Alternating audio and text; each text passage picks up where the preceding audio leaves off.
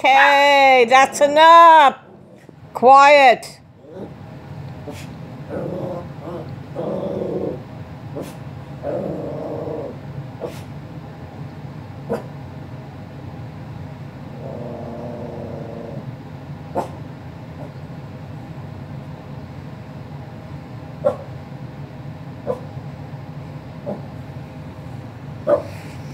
That's only half of a spit.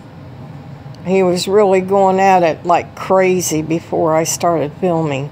He was starting to settle down by the time I started filming. Oh my gosh, and he won't stop until I yell. He makes me yell. But at least he stops. Used to, he wouldn't. Now he knows very well what quiet means.